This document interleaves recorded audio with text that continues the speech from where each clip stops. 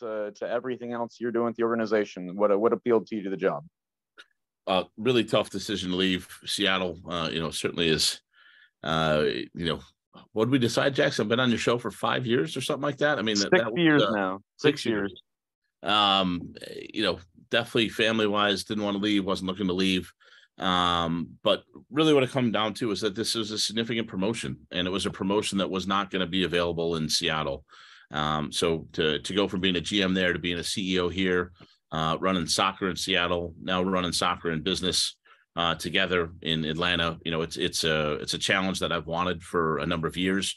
Uh, from my perspective, I've I've put in 15 years of work as a GM um, to to try to get an opportunity like this. Um, and I, I look, I've I've been offered other CEO jobs in the past at clubs that weren't of the scale or the scope of the Sounders, and I've turned them down. Um, and and this was, I think, a comparable uh, club, and you know, again, a, a, bigger opportunity. And you know, full credit to Adrian. Uh, you know, he he from day one had always said like, this is how the Sounders are going to be organized. You know, and I'm not going to change that structure for any one person. And um, and again, the organization's had incredible success and and uh, you know is in good hands right now with with Craig Waibel, uh, so who I you know certainly personally recommended, and I've trained a couple different times, and so you know I believe that, and I believe that the sounder structure works, and I believe that as long as Adrian Hanauer is the owner out there, that you don't need to change the structure out there. So um, you know nothing but positives uh, about my experience. Really grateful for the eight years I had out there. Um, learned a lot, uh, won a lot hopefully left it in a little bit better shape than I found it. Um, that's usually the standard. Um, and you know, really grateful likewise for the opportunity here in Atlanta and excited about the new opportunity and the challenge. Hi, Garth. Nice to nice to see you again. Um, wanted to ask a little bit more about that uh, as far as the the want to uh, have both positions, the CEO of, of, soccer and business side. Were there any uh, clashes uh, in Seattle, though, because you you did want that um, kind of dual role. And when was it that you definitely felt that maybe you know your head was hitting the ceiling in a sense of, of wanting to move on? Um, no clashes, Jada. You know, Peter Tomozawa and I got along well. We're you know friends this day, and before him, Bart Wiley and I had a good relationship. So, uh, not you know nothing there at all. Um, you know, it was it was more you know. Uh, just you know again, you guys know I talk about my family a lot. So just going back to my to my dad, I said, "What was the most important thing in your career?" And he said, "Well, you got to always keep learning. And if you always if you continue to learn, you'll continue to grow, you'll continue to evolve, and you'll continue to get new challenges, and that'll make life interesting and fulfilling." And and you know, I think there was an element of, uh, you know, I'd done the same job for 15 years, and uh, you know, I wouldn't say that it was bumping up against the ceiling, Jada, in the sense of again, I, I knew what the structure was. I wasn't confused about that. Um, but at some point I kind of wanted to learn some new stuff. And and that's not a criticism of anything or anyone. You know, I, I think in a lot of ways it would have been easier for me to stay in Seattle. Um, you know, I think Seattle's going to have a very good team. Obviously, like Atlanta's team as well. But um, you know, things were set up pretty well contractually for at least another year in Seattle. Um, and again, we have you know all the staff that I hired on the business side. I'm intimately familiar with, and uh, we're all experienced together. And um, you know, so I think in a lot of ways this was this was hard. This was a harder thing to do, and um, but I felt like this was my best opportunity to keep learning, and so that's why I made the decision. And and look, the the other side of it that's personal always is uh, uh, my wife has family in Tennessee, and and that was definitely a, a component to it as well. Uh, that uh, we're moving a little bit closer to families. so we're a couple hours away now, and um, you know, so that that whole thing kind of came together because you know I, have talked for years about how happy our family was in Seattle, and it was it was awesome. I mean, it it really was, and and uh, you know, really grateful for that time, and uh, we couldn't possibly have enjoyed it more. And we had the best neighbors, and uh, the fan base was so supportive and appreciative. Just really, really grateful for everything that we had in, in Seattle and, and now looking again, looking to, looking forward, taking a risk and looking forward to that next challenge uh, with another significant fan base in, in Atlanta. Hey Garth, Nico here. Uh, great to see you again. Uh, I wanted to know uh, how quickly did this come about? Because I mean, uh, you know, there was a GM vote, there was an annual meeting that you were at, and everything that I've heard just reads that this happened immediately quickly. It just happened too too fast and after that business meeting. Is that correctly? Yeah, let me give you the timeline because this is a good question, Nico. And I think there's been some confusion about it. It was both fast and slow out here. So, uh, you know, obviously Darren left uh, Atlanta in the summer. Um, and I think it was difficult to impossible for them to really begin a search. Uh, certainly a search of MLS candidates wasn't possible till after the season because the Sounders were trying to make the playoffs. Atlanta was trying to make the playoffs. So, um, but they initiated contact. Atlanta initiated contact after the season. Um, there was a multi-step, multi-part uh, uh, interview process um, that went on over a number of weeks. You know, longer longer than a month. So that's that was the the slow part. And I don't mean that they moved slowly, just that you know it, it took some time. And um, again, it's super important to get the diversity requirements right in that process and give everyone a fair shake. And um, so that was very strictly adhered to um, as part of that uh, and and then it was fast in the sense that it came up right after the the fan vote was announced. So, but to give that to give again to try to go into detail there, um, I had done what turned out to be the last interview of my process. And again, I don't know what they were doing with other candidates, but uh, with for my last one, I had given it uh, over a week before the announcement of the retention vote. So on that on that Wednesday, I think uh, Tuesday or Wednesday, whenever I walked on stage and said, "Hey, thanks," and ninety percent approval, I really appreciate it. You know, not only did I not have any job offer, but it had been over a week since my last interview, so I was of the mindset that like, hey, you know, this may well not happen. Um, you know, this this this is um, you know a significant event. You know that that amount of time has gone by. You know, hey, not sure if they like me or didn't like me or whatever. And again, I don't think it actually it, it, it amounted to anything. They were just going through the process, but I, I just had no way of knowing that. And um, so I went up and I spoke sincerely and I spoke, you know, from the heart that that I, of you again about how grateful I was about the for the opportunity and and the eight years. And at that point was assuming I was continuing. Um, and uh, literally within 48 hours of that event, then uh, I got a job offer from Atlanta and um, that's then something that we entered negotiations and and ultimately uh, wound up heading out here. But um, that's the timeline. So does that does that make sense? I know it's probably a little confusing, and I'm sure it felt disjointed. It probably felt very fast from me being on stage saying thank you to, you know, I think a week later uh, being announced as the Atlanta United CEO. So I just it's really important to me actually that that people understand that there was no lack of sincerity on my end at all, nor was there any on on the part of Atlanta United. Everyone was going through their process and doing their thing, and that's just the way the timing worked out. Garth, with that, was there, um, you know, with the uh, the offer being in a in a 48 hour uh, kind of period, uh, what what did you what did you initially then feel uh, as far as you know making that um, that statement or that uh, speech to to everybody at at the uh, Longacres and then you know knowing that you were going to you know kind of do the reverse in the in the sense of, of leaving. Was there much emotional you know tie or you know as far as you working through it even within yourself? You know like geez. Yeah look I, I mean I, I mean i was there for eight years and we won a lot of stuff. Um you know there's a lot of ties to to the fan base to to all of you uh all of you who have been you know very fair uh, you know, journalists with respect to the Sounders and and uh, you know, Jada, you know, you and I spoke, and I, you know, I think you tried to pin me down, like, you know, are you committing? Is this, you know, are you in now, right? And and I did my best again to answer truthfully and respectfully that, you know, I I, I didn't commit to staying because I I didn't know what was going to happen, and um, you know, but likewise expressed sincerely that it was a great place, and it, it the Sounders is a great place. It's an amazing place um, and, and that's why I spent eight years there. Uh, um, so um, was it hard? Yeah, I mean, Jada, just to get to the question, yeah, it was really hard. It was super hard. Um, it, it, it was, and it was never going to be easy. I mean, you can't invest eight years of your life and your family's life and you know one of our sons was born in seattle and they all like that's the only place that my family remembers i mean they were my boys were three and baby literally six months when we left Salt Lake. Uh, and as I said, we our, the third one wasn't around yet. So, you know, all of my kids, that's all they know is Seattle. So it was it was a huge deal uh, to to contemplate moving, and and I think it would have. It, it did take a you know an almost perfect scenario, literally closer to my wife's family, a clear promotion for me from a career perspective, and a club that is you know uh, on equal terms with the Sounders. You know that those are some pretty big boxes to check Um, and when they, you know, when they when they did, then then it was something that ultimately I decided to do.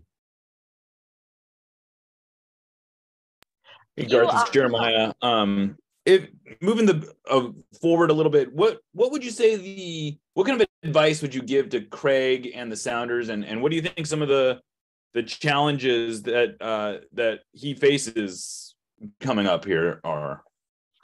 Um, look, I again, I want to repeat, you guys are in good hands with with Craig Waibel. Uh, he's a good man. Uh, he's a good GM. Uh, he's earned it. He's been a GM before. He's experienced. There's not gonna be any situation that comes up that uh that he hasn't seen before so um you know rest assured uh he, he- you're under really really good leadership um you know and, and if you don't believe me uh look at the the track record in salt lake uh, you know, after I left, uh, Craig really doubled down on the academy and established that as a as a long term uh, source of strength for that club. And uh, you know, if you look at, you know, Craig and I would both say that it's a source of pride for us that Salt Lake has not fallen apart since we left. You know, that the structures we put in place, um, and certainly Craig more than me, certainly at this point, because I'm I'm fully, you know, almost a decade removed at this point, but um, you know, did a lot of good work there in terms of establishing foundations and using limited resources. And um, again, I think that's something that whenever you take someone from a small club to a bigger club, you're going to get a pretty good skill set in the sense of they're used to doing more with less, and now you have more. So doing more with more is easier than doing more with less. So um, you know, in terms of specific challenges, look, I mean, there's there's always going to be contracts and players and you know long-term planning and stuff and i have no doubt that craig will see things a little differently than i did and you know he'll he'll you know put his vision into place and he'll get things rolling and and uh you know i'll, I'll let him take i'll let him take it from there and and you can ask him jeremiah about what he thinks are his uh his challenges but he's he's well qualified for the job i can assure you that and and in adrian hanauer you know you got the only owner in the league that's that's been a general manager as well and he's going to have a lot of help and support on that front as well Do you think that the um, Sounders would have benefited at all then to having a longer process or bringing anybody else in? Or is there any critique to be had um, aside from, you know, the diversity search? Um, you know, was there, is there any critique to be had to, to making that simple move? I don't want to say simple, I- you know, that, that move to, to upgrade. Yeah, look, and uh, I think on some level that's just a question for Adrian, right? I mean, I I'm not walking in his shoes, so I don't know what the alternatives were.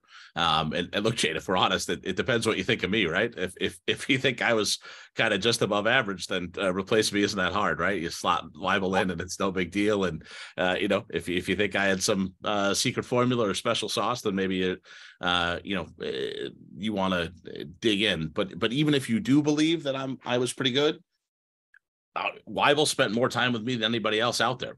So, you know, I think there's a case uh, to support the the the course that the that the Sounders took. You know that that uh, if you think I was pretty good, Waibel knows me better than anybody else out there. Probably. I mean, Chris Henderson would obviously have a, a claim to that as well, but Chris is under contract uh, to another club, so uh, that wasn't an option. And um, you know, certainly Jada, as we've talked about over the years, the diversity stuff is very important, and I have no doubt the Sounders are going to run a real robust process uh, with respect to that. That was always one of their core values. I'm sure it will continue to be. Um, and and you know, for that, I think best to best to ask them in terms of the details of how they how they went about went about that process. Hey Garth, when Garth, you you- came to Seattle, uh, when you came to Seattle, one of the big pillars that you talked about was getting to and winning Champions League because of what happened at RSL. Um, as you begin this new chapter at Atlanta, what is the new mountaintop, or is there a new mountaintop for you? Uh, you know, as you begin this new job. Well, it's just win Club World Cup, right, Jackson? I mean, it's logical. No, I mean, is that the next one? Yeah, look, remember when I started at Seattle, I was the knucklehead who said, Oh, I definitely to do better than the 2014 team that won the Open Cup and the Supporter Shield, right? I mean, it, it still seems like a poor choice, even for me. Um, and, you know, so when I came in and I did that interview, right, which was in the first two weeks on the job, to some degree, I didn't have a lot of choice, right? Like, if I'm going to puff my chest out and say I'm gonna be better than what came before. Well, what's left? Well, MLS Cup and Champions League, right? So, uh, you know, I think in Atlanta, you know, they had this meteoric rise 17, 18, 19, gangbusters, multiple trophies, and then you've had kind of this inevitable lull, right? And and I think part of what I'm coming into Atlanta to do is to to provide a little bit more st- sustainability, um, to provide a foundation and and provide sustainable growth.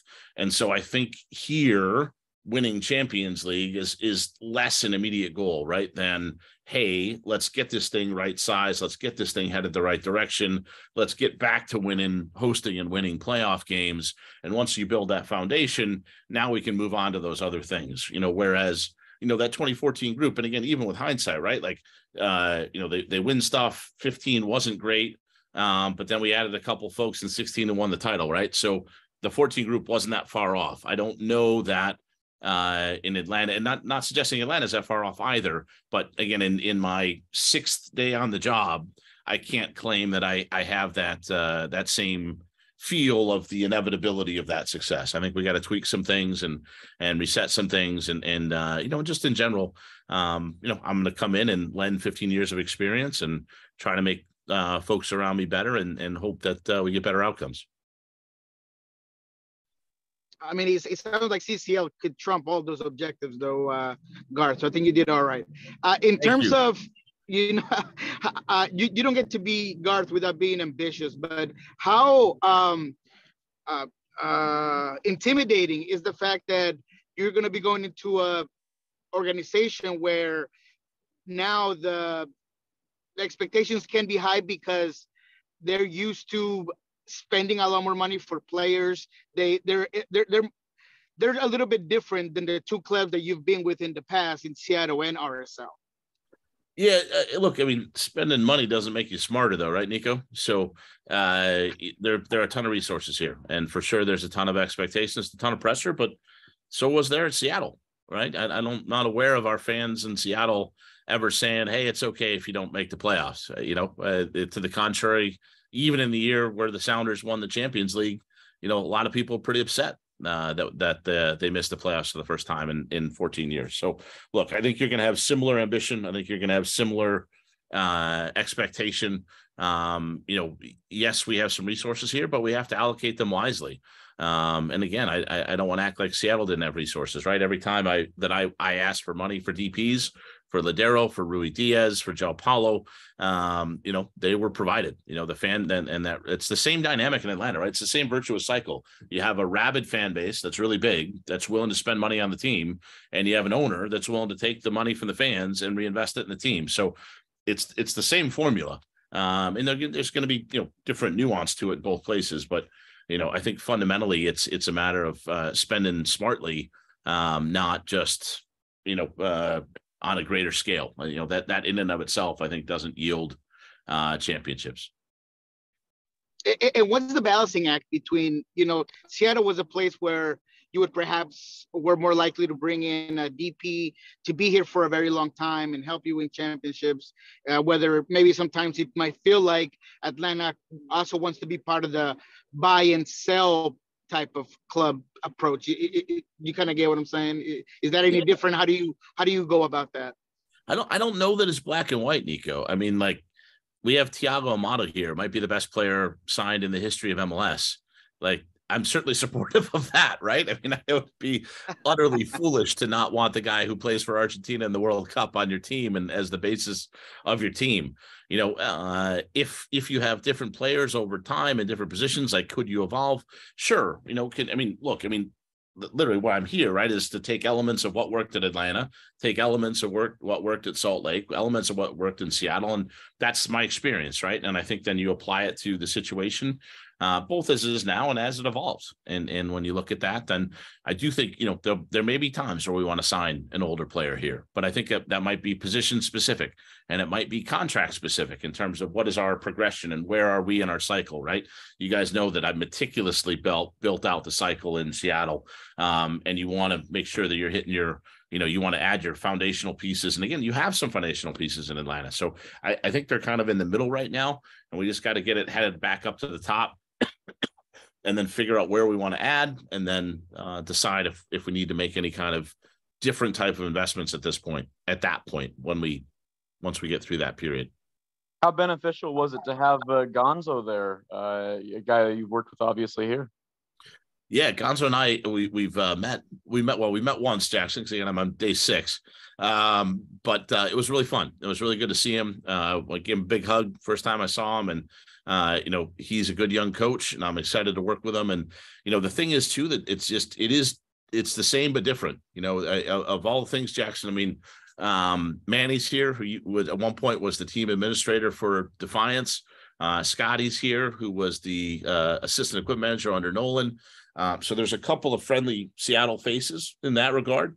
Um, and Gonzo obviously is a friendly Sounders face, but the roles are totally different, right? I mean, whereas uh, you know in Seattle it was GM to assistant coach. Now, now Gonzo's the head guy, and every, every assistant coach I've ever met, when they become a head coach, they they they have to prioritize differently. It's a bigger picture job. It's it's it becomes, I think, less ideological and more pragmatic because you have to put the, the, you know you need ideas as an assistant. As the head coach you got to put them into practice and you got to win games. So um you know i sense that gonzo's got a super positive attitude uh, again it was a really friendly meeting. And for me again i'm not the gm i'm the ceo so my job is to put carlos and gonzo together now uh, and to make them both successful collectively, um, but not be in there in terms of going to training and being there in the day to day. So it's just a fundamentally different relationship, but certainly having that familiarity um, is a good thing. And and uh, you know, look, if I'm going to promise anything, my first year, I've, I'm four for four. I've, I've had four head coaches, gotten the playoffs with all of them. Hopefully, this year it's five for five. Garth, can you go into a little bit more about the uh, first week? Like, what what is uh, what, what has been what have the five six days been like? Uh, it's been a lot, Jada. Um, as you can imagine, you know, starting a new job, moving across the country, uh, you know, uh, trying to learn the business, you know, because it's Atlanta United sits under the Arthur Blank Sports and Entertainment empire. And so not only am I learning the Atlanta United business, but I have to understand how it functions within that whole structure. So um, been meeting a, a, ton of people as you would expect, uh, trying to remember a name here or there along the way. Um, you know, met the media corps uh, last week for the first time. So, uh, you know, just just honestly, a lot of saying hello and and getting to know people, and um, we're digging into budgets and things like that now. So, and and gotten an overview on team. So, you know, just kind of, I, I, just tell everybody right now that it is not possible for any one person to process all of this information right now. I'm just putting, you know, going one day at a time here, learning everything I can and uh, trying to do it in a positive way. And I'm really glad I got out here as quickly as I did because I think a lot of this kind of assimilation stuff can now happen before the holiday. And then hopefully that kind of clears the deck where you've kind of gotten through the very, that very initial phase of at least saying, Hey, how you doing? And, and what do you do for us?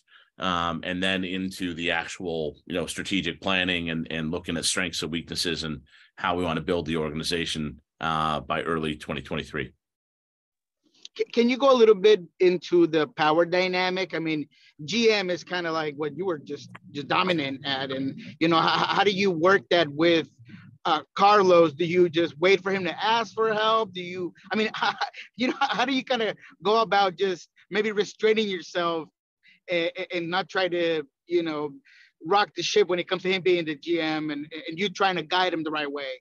Yeah, look, it, it, it, look. My parents are both teachers, Nico. So, so I, I, have some mentoring ability in me, and um, I think it's really fun. Uh, you know, I'm I'm here as a resource to Carlos. Anytime he has a question, fire away. I'm going to do my best, you know, as you said, not to get in his way. certainly not going to dictate things to him. Um, certainly, though, you know, we both have our experiences, right? And and if we put our our experiences together, hopefully we can we can mesh and and uh, get it to a better place overall. But there's a ton of good things here. Uh, you know, again, there's there's some process things that I think we're in. You know, we are in the process of adding. You know, that that uh, that I will insist upon but it's not again it's not because we don't have good inputs. I think i think we have good inputs. I think we have good talent. I think we have good people uh, and we have good resources. It, it's i view the job right now as coming in unifying those things and getting everybody pulling in the right direction.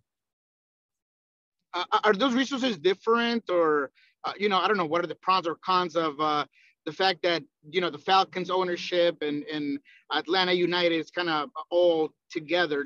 Does that help you in any ways that any different um, look, there are probably some efficiencies on the business side, you know, just in the sense of having, you know, the the AMBSE owns the stadium, the Falcons, uh, Atlanta United. and They own some other stuff as well. Um, but you have, you know, you do have a staff that can run kind of the whole operation collectively. Um, but to be honest, in terms of the day to day of Atlanta United as compared to the Sounders, I don't know that there's that much difference. I mean, you still need to fill the same functions and roles. You still need to sell tickets to fans, um, you know, sell corporate partnerships. And again, like the details of that, you know, how the revenue is allocated and stuff that, that, you know, that might be slightly different. But in terms of the day to day and how you organize things, it's pretty similar. I know you've only been there a week uh, or so, but is anything caught you by surprise or either good or bad in terms of either the things you learned about the sporting side or things you learned about the business side? Just anything that you weren't necessarily expecting uh, that's come up in the last week. Look, I was aware that there were things I didn't know, Jeremiah. So, like, eh, you know, things that have shocked me, no but I'm saying learning the business, right? And and the business here is is different than the business in Seattle. And you know, Seattle is you know always been run by Adrian Hanno by, by one person who you know set the scope and the vision of the company. And AMBSE is a much broader organization. You know, it, it is much more corporate, and so there are different policies and procedures and different ways that decisions get made. And um, you know, again, there are pros and cons. It's not it's not good or bad, um, but it's definitely uh, a, a, different feel in Atlanta uh, than it is in Seattle. And um, you know, it's it's something where that's part of the process. The you know, I, one other example, you know, the Sounders have been remote for uh, better part of two years now.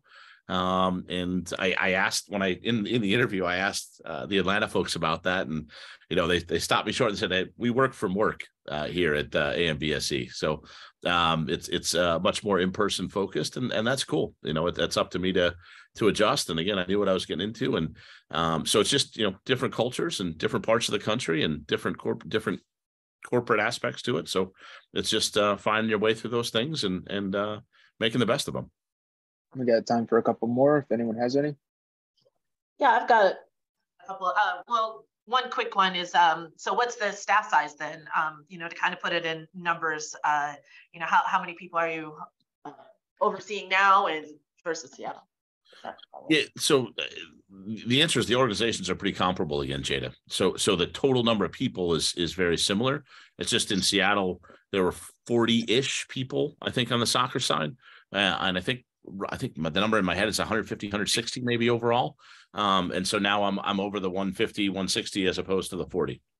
But but there's to be clear, there's not really that much difference. I don't, in, as far as I can tell, between Seattle and Atlanta in terms of soccer side versus business side. And then if, if nobody else does, I have uh, one question. You um, had mentioned the way that you and your wife had met, and I was just curious about that that story. And um, if there's anything like president wise, like now that, you know, as far as being in that corporate environment, if there's anything that would have been sketchy now versus then. I'm guessing this is the 90s, right? And sorry, Jen, I'm not not sure I'm following all together. Other than I wanted to know the story. Sorry, I just want I was. Oh, the, the story about how my wife and I met.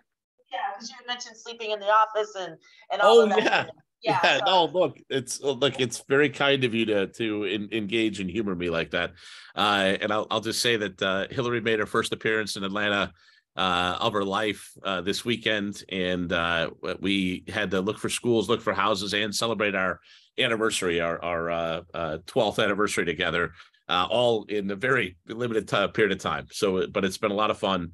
Um, that story is just that uh, I worked at the law firm at, at Latham and Watkins in DC, um, and the woman who worked next to me uh, was Hillary's stepmother, and you know she asked if uh, I would like to meet her daughter and, and her stepdaughter, and I of course said you know yes politely, and you know in a work function, it, you can imagine it was a little it was a little, a little awkward, but uh, I said you know sure absolutely, and um, Hillary and I uh, were both equally skeptical of this meeting, so uh, we both brought friends with us uh, to the bar where we were supposed to meet. You know, figuring we'd kind of uh, fist bump and and and walk away. And so we checked the box, and uh, Hillary's friends uh, were a little exuberant. They were they were overserved in in their telling of it, and then the bar personnel asked them to leave, so they got removed and uh, Hillary got stuck talking to me for a couple hours, and and uh, the rest is history. So, uh, you know, basically, Jade, I got an opportunity I couldn't screw up thanks to somebody drinking too much. So, uh, I I uh, I did the best I could. Okay, that's a good story because the the way that you had said it originally, given some of the uh, indiscretions going on with some people corporate wise, you had said something about sleeping in the office, and then you know you met your wife, and so that that was like that sounded weird. So I'm glad that I got. I, I, well, I apologize. Sound weird. What to the extent sleeping in the office? What I meant by that was literally sleeping on the floor underneath my desk because we were doing hundred hour weeks back to back to back, trying to do corporate deals, trying to get things done. So, Wow. so uh, not nothing nothing there other than uncomfortable uh, concrete with a thin carpet over it. Thank you. Hey Garth, I'll, I'll do I'll do one last, probably a, a tough one here at the end for you. But um, obviously, Carlos Bocanegra has been there for a long time. He's uh, someone that's at times been criticized uh, by, by fans and things. H- how do you approach uh, that first interaction, or maybe that uh, interview in which you try to figure out what's going on and, and how things can improve, particularly to his job, his role, and, and everything he's done for Atlanta United. Yeah, look, Carlos and I, uh, we've been on the CSO committee together, and he was on the Athletes Council for U.S. Soccer for a long time, and interacted with them a little bit on some of those issues. So we know each other, but we don't know each other well. You know, I'd say we know each other professionally, but he's a really nice guy and easy to get to know, and and uh, you know, I, I've enjoyed working with him so far. You know, as to you know how we land ultimately, as to uh, you know how we divide and conquer all the responsibilities. Um, you know, it'll be his show. Um, he'll you know he'll be the GM going forward. I will support him. Um, I will certainly, if I have any knowledge to share, I will do my best to do that. And um, you know, uh, what I would say is it's been easy so far, Nico. Um, it, it, it, Carlos has made it easy. Um, he's not been dogmatic. He's not been ideological. He's not, you know, said, "Hey, we have to do it this way. This is the only way." And and I think ne- neither have I. You know, I think there's always different ways to to to make things work and every organization is different and, and it's a matter of uh, using resources efficiently and if you do that then again uh, you're going to get more good players over time and you're going to have stability and i think those are the the keys to atlanta united's success going forward Thank you, Garth. Wish you the best of luck. All right, I think we'll